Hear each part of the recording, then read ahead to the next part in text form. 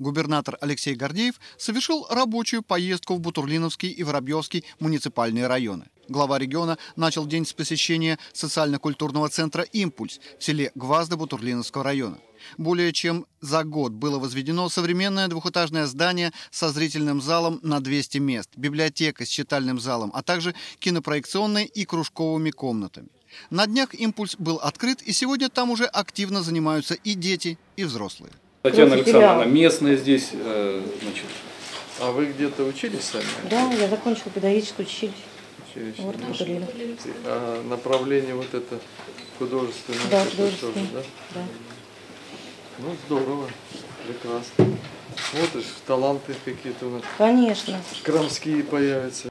В ближайшие годы в Бутурлиновском районе будут сданы в эксплуатацию еще несколько важных социальных объектов. Ход строительства двух из них, школы на 792 ученика и поликлиники Бутурлиновской ЦРБ на 500 посещений в смену, проинспектировал глава региона. Оба здания возводятся на площадке комплексного строительства социальных объектов. Предварительные сроки завершения объектов 2014-2015 годы. В самой Бутурлиновке губернатор ознакомился с ходом благоустройства центральной части райцентра, в частности, площади Воля. В этом году площадь была выложена плиткой и благоустроен сквер. Бутурлиновский район, э, ровно два года исполнилось, как мы э, избрали туда нового главу администрации.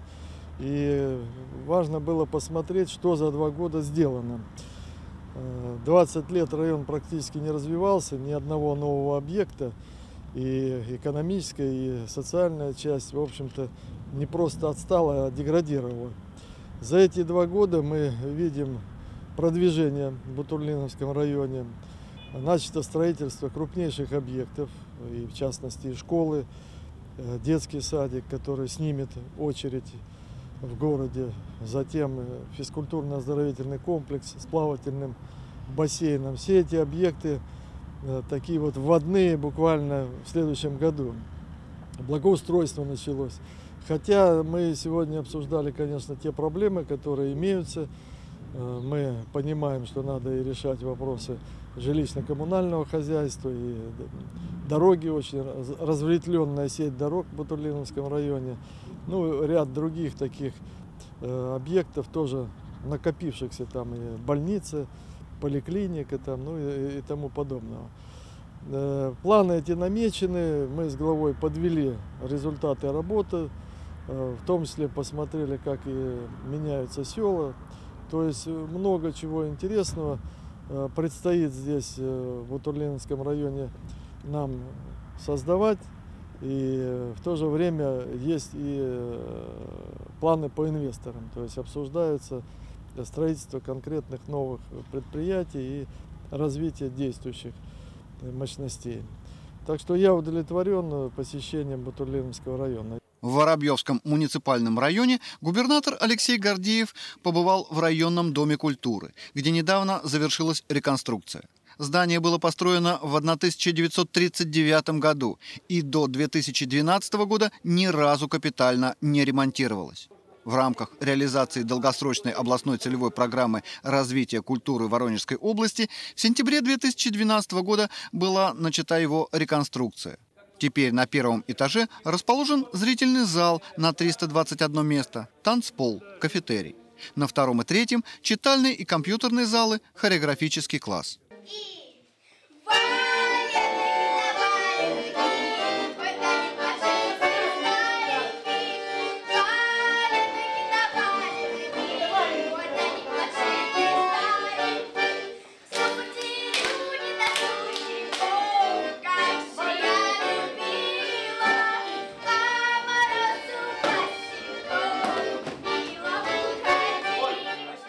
Алексей Гордеев высоко оценил и профессионализм строителей, и грамотный проект. В фойе Дома культуры он вручил благодарственные письма губернатора Воронежской области пятерым строителям и рабочим, отличившимся при реконструкции Воробьевского Дома культуры. Завершая рабочую поездку, Алексей Гордеев провел личный прием граждан в общественной приемной губернатора. Жители Воробьевского района пришли к главе региона с различными проблемами. Молодой агроном Виталий Путилин обратился к Алексею Васильевичу с проблемой сразу четырех населенных пунктов.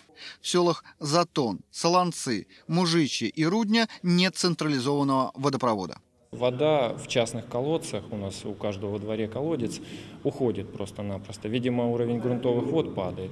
Поэтому без центрального водоснабжения наши села ну, никак не смогут жить. Много молодежи, детские садики, школы. Люди не торопятся уезжать из села.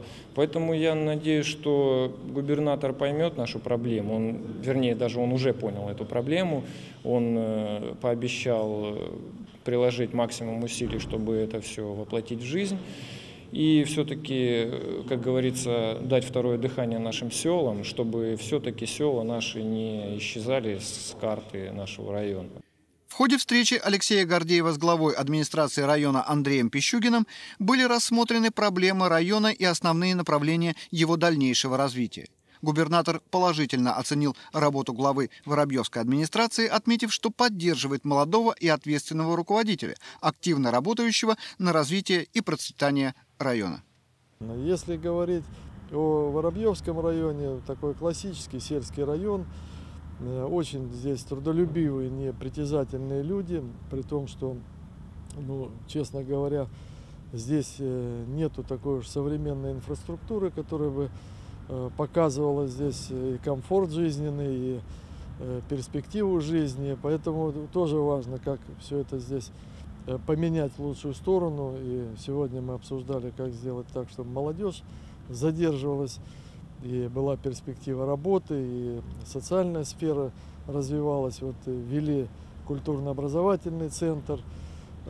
Также говорили о том, как дать воду людям в следующем году уже исходя из наличия проектной э, сметной документации. Так что поездим по районам и с большим удовольствием еще и наметим планы на следующий год. Э, слава Богу, мы, несмотря на уже такие ощутимые экономические трудности, не останавливаем строительство и э, то, что вот говорили пару лет назад, шагнуть в крупные села – где жители 2000 и более с инфраструктурой, этот процесс уже пошел.